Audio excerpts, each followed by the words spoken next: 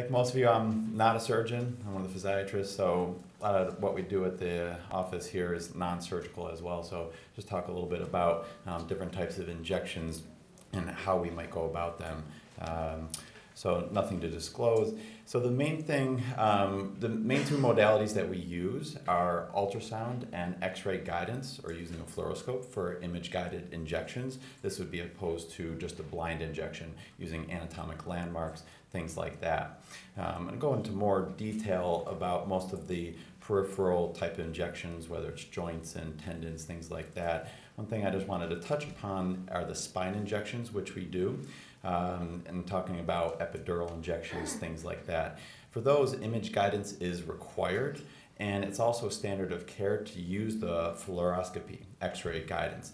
Um, so there's really no discussion. You can't use ultrasound guidance. Um, that's considered experimental and it's just not safe. So um, in this case, you know, there's no blind versus x-ray guidance um, injections in the management for, for pain.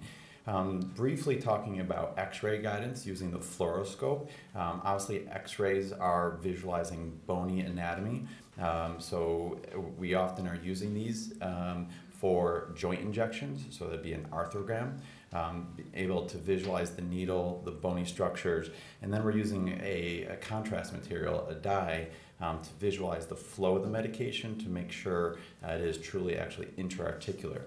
Now obviously the x-rays are not visualizing soft tissue, so these aren't really preferred for many of the soft tissue injections that we might uh, do. The other thing is, again, uh, practitioner and patient safety.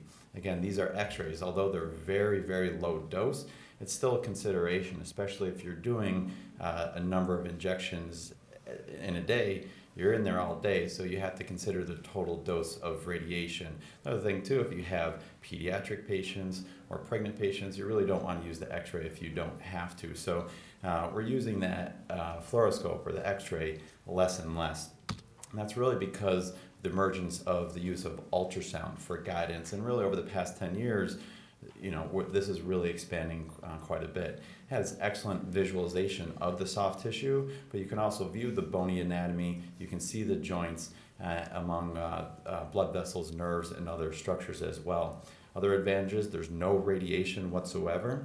Um, you can visualize any structure, so if a patient says, it hurts here, you can literally just plop the ultrasound right on top of it and just see what's going on it. And if there's something there, you're able to visualize that area. The one thing about the ultrasound is it is very user dependent and there is a little bit of a learning curve.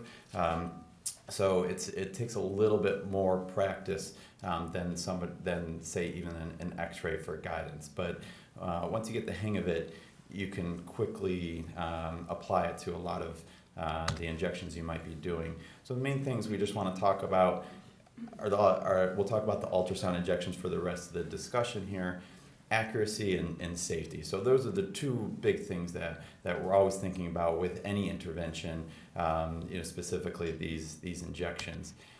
The, the setup is pretty straightforward. Whatever body part you're injecting, you just get the patient and yourself in a comfortable position. And if you're doing something, say around the wrist, patient's just you know in that comfortable position. You're going to have one hand for the holding the ultrasound uh, probe, uh, the transducer, lining up the anatomy, visualizing things, and, and having a nice stable base there. And your other hand is going to have the syringe and the needle. So it's kind of like a video game. You, you have two things going on at the same time. So as the younger generation kind of comes up, you know, they're going to be a little bit better than we are even at this. Um, we, I'll go into an example here. We'll talk about an injection around the shoulder. Uh, the long head of the biceps trails up the anterior portion of the shoulder.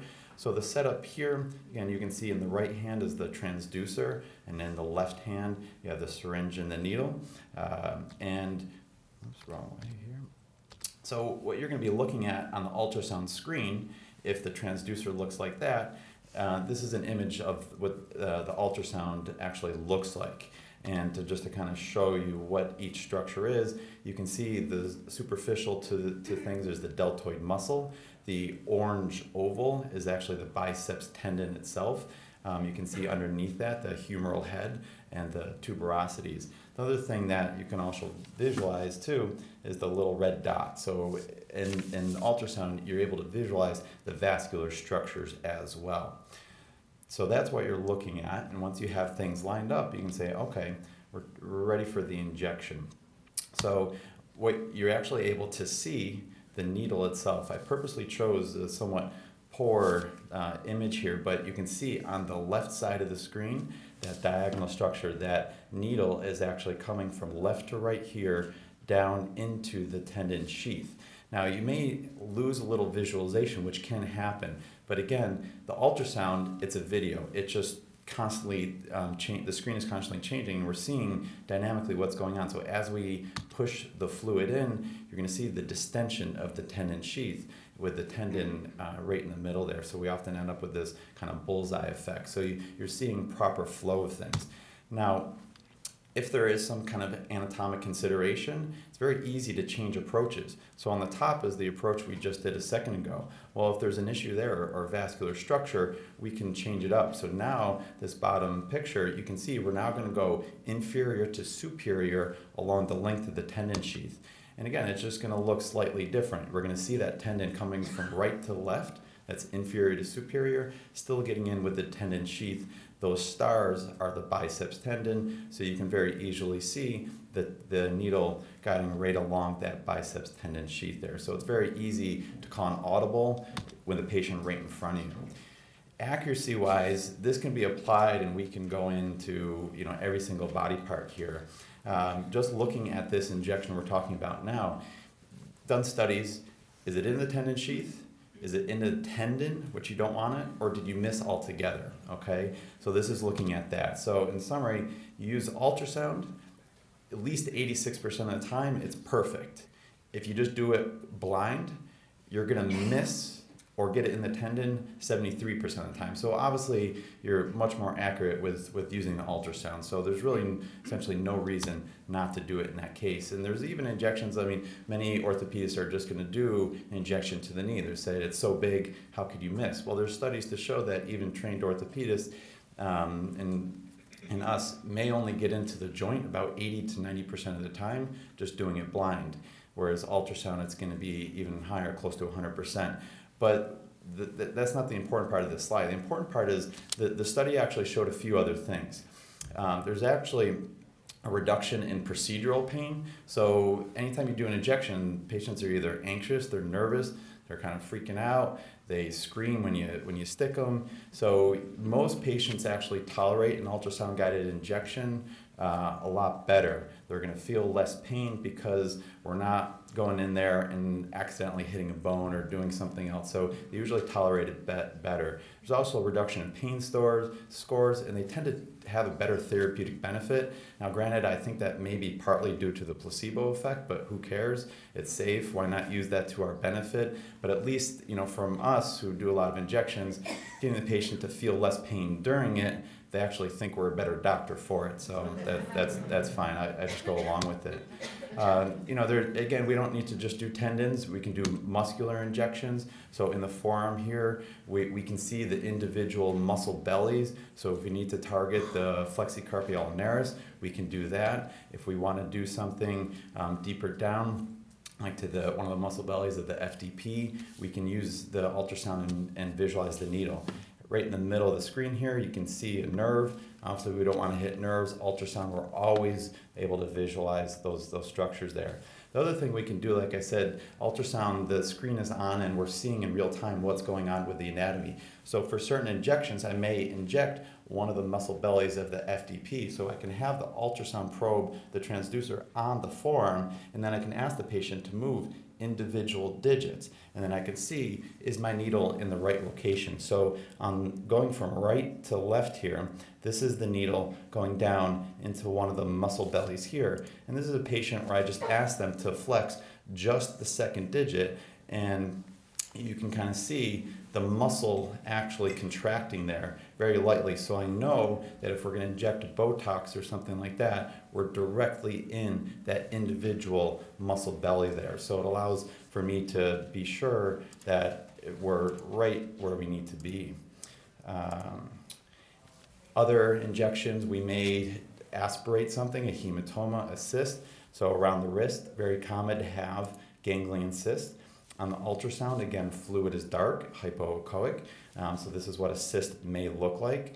Now, many times, uh, one of the hand surgeons may just go in and be able to aspirate that.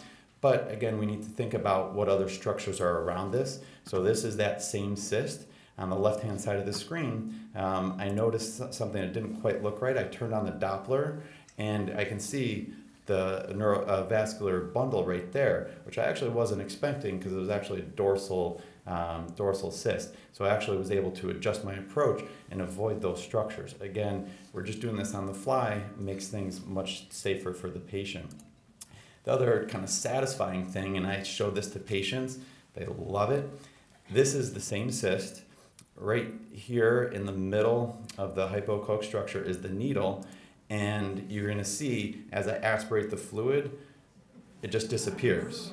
So now we're like, it's gone. So number one, I can tell the patient 100% of the fluid's out. You can show it to them, and they're like, oh, that's wonderful. And again, we're, we're all about safety, but patient satisfaction is very important, I guess. So, um, so it's just it's just helpful for me, and the patients can visualize it and they appreciate that. Again, same thing. If you're just doing a, uh, a joint injection, you can see the joint actually start to distend. So we're visualizing it. It's safe. We're seeing it. We're making sure everything's going right where it needs to go. So do they improve accuracy and safety? They totally do. So ultrasound injections more accurate, they're safer, there's no radiation, improved uh, satisfaction scores, reduced uh, procedural pain, and improved outcomes. Um, there's been more and more books kind of teaching everybody how to do this. This is actually one that I helped co-author back in residency, um, and that's a quick outline.